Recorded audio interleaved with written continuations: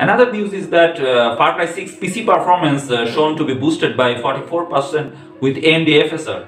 AMD posted to a new Far Cry 6 uh, feature uh, video today, uh, giving fans to very first glimpse at the kind of performance boost they can expect when enabling uh, Fidelity FX Super Resolution in the game.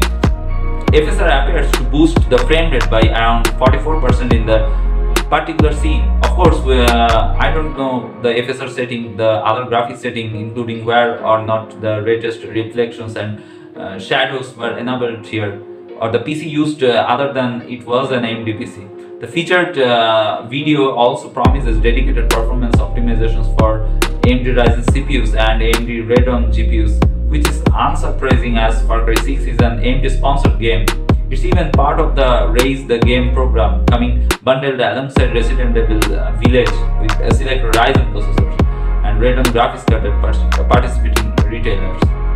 To push the visual fidelity of uh, Far Cry 6 and an immersive uh, gaming experience, we have been uh, collaborating with AMD to implement next-gen rendering techniques like DirectX uh, ray tracing and AMD Fidelity FX features.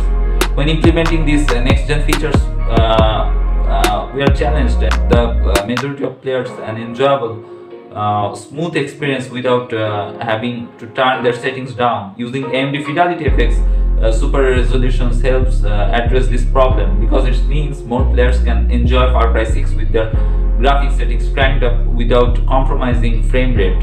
FSR is a cutting-edge spatial upscaling solution.